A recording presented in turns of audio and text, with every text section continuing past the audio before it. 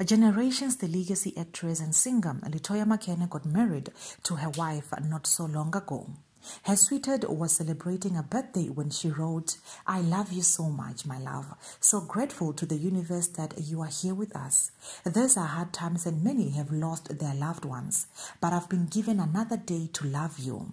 Happy birthday, Lebo Makhene Pulumo, turns 45. Hi, T Squad, and welcome to the Tea World. One uninformed fan commented by saying, Happy birthday to him, of which she was corrected to, It's a her, not a he.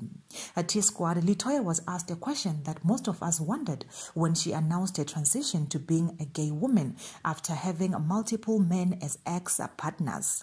The question has always been whether she will miss the D compared to however way they satisfy each other in the same gender relationship. A fan asked her whether she misses the ding dong, and her answer was a complete shock. The celebrity Sangoma replied that the D is overrated. Nope, I wish I could tell you how overrated it is, she answered.